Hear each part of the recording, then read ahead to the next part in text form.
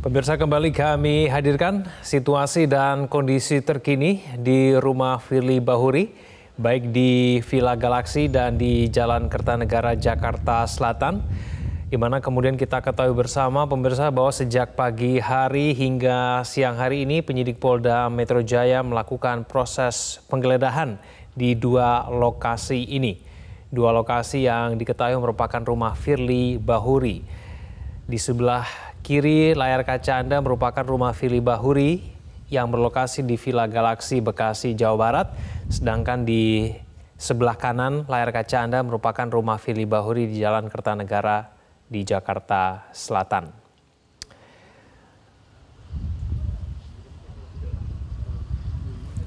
Kita sudah terhubung dengan mantan penyidik KPK Yudi Purnomo. Mas Yudi, selamat siang. Ya. Selamat siang, Mas.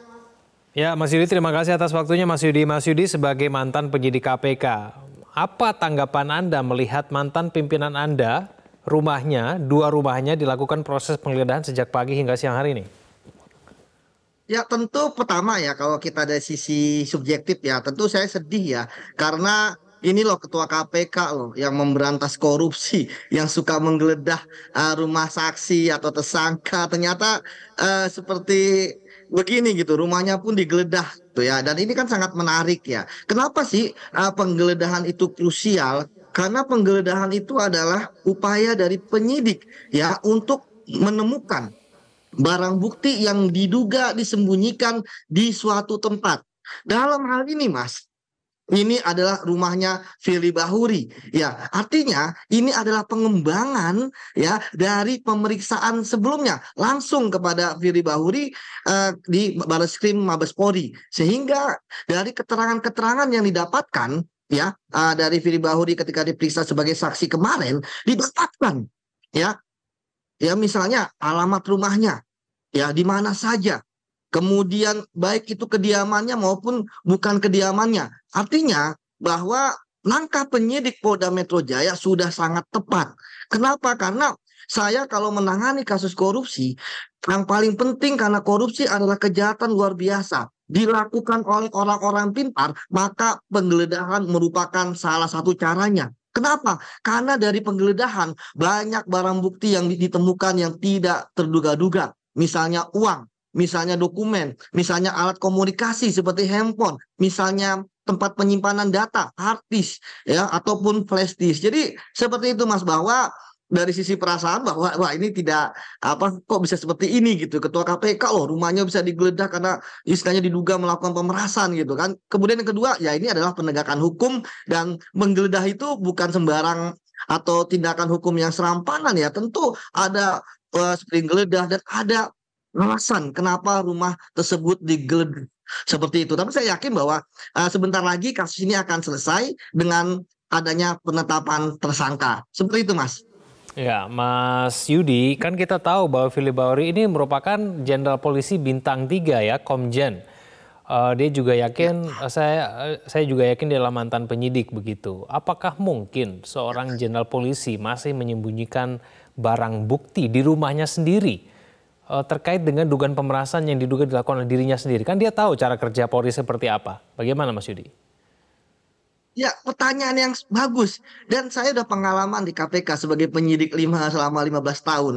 Uh, kadang kita menganggap bahwa wah orang ini hebat, orang ini mengerti hukum, orang ini pintar, uh, smart gitu ya. Uh, tapi kemudian ternyata ketika melakukan penggeledahan banyak hal yang tidak bisa diduga. Ingat Mas, hmm. bahwa kejahatan itu tidak bisa tidak sempurna. Kejahatan pasti meninggalkan jejak. Terkadang saya ketika menggeledah menemukan misalnya uh, dokumen yang belum sempat di slider.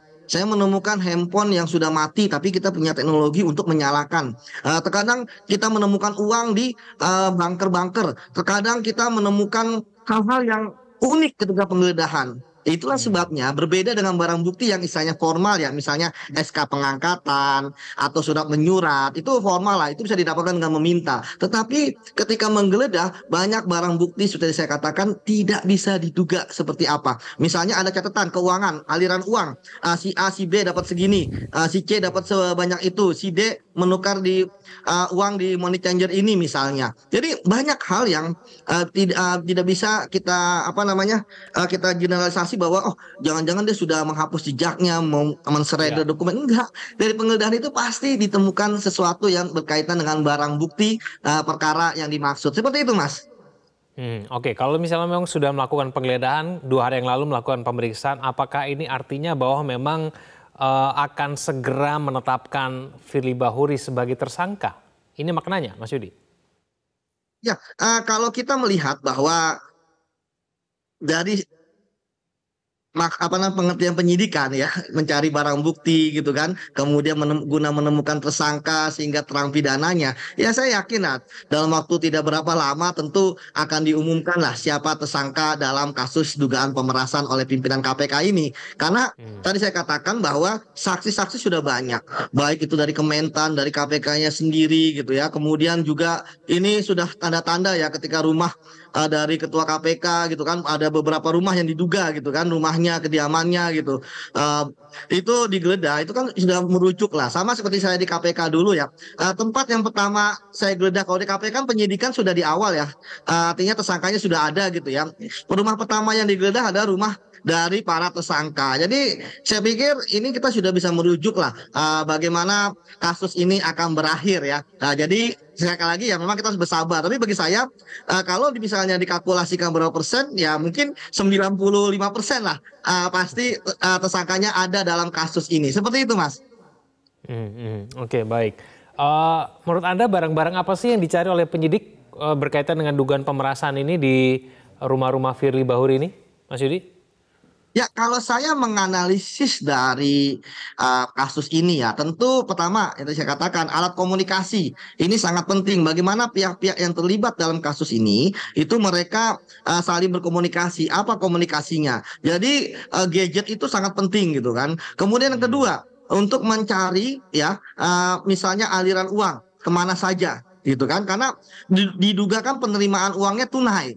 Ingat ketika penerimaan tunai dia hanya akan berubah bentuk ya. Menjadi tetap menjadi uang tunai atau menjadi barang. Entah itu jadi berlian entah itu jadi kendaraan entah itu jadi uh, aset ya berupa hmm. sertifikat yang atas kepemilikan tanah gitu. Jadi dalam penggeledahan itu banyak maksud mas. Misalnya tadi saya katakan uh, untuk memperkuat unsur-unsur pembuktiannya. Yang kedua untuk uh, mencari set aset yang diduga hasil dari kejahatan korupsi uh, dengan ya. sistem follow the money. Seperti itu, Mas.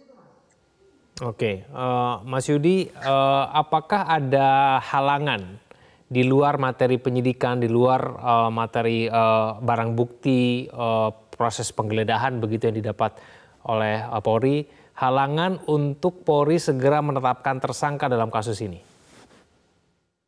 Ya, saya pikir kalau berdasarkan pengalaman saya tidak ada halangan ya. Buktinya kan walaupun dia ketua KPK ya pertama semua di mata hukum sama ya dan buktinya yang bersangkutan diperiksa gitu ya walaupun pemeriksaannya itu beda tempat. Tapi seperti saya katakan sebelumnya ya bahwa uh, pemeriksaan saksi itu kan wajib gitu ya.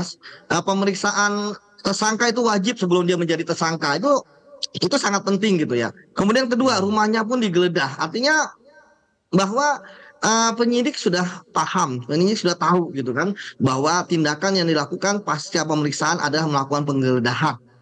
Ya, sehingga tadi yang ketiga uh, sebenarnya saya justru uh, yakin sebenarnya penyidik Polda Metro Jaya itu sudah memiliki uh, apa namanya bukti-bukti yang cukup ya uh, untuk menetapkan tersangka. Namun tentu uh, ada suatu tindakan-tindakan nah yang perlu dilakukan untuk memperkuat lagi. Jadi sekali lagi memang uh, karena kita tidak mengetahui apa yang ada di dalam penyidikan ya. Namun dari analisis yang saya lihat ya uh, saat ini penggeledahan ini sangat penting artinya untuk memperkuat prosedur uh, sebelum nanti uh, prosedur hukum sebelum nantinya ditetapkannya tersangka oleh penyidik Polda Metro. Seperti itu, Mas.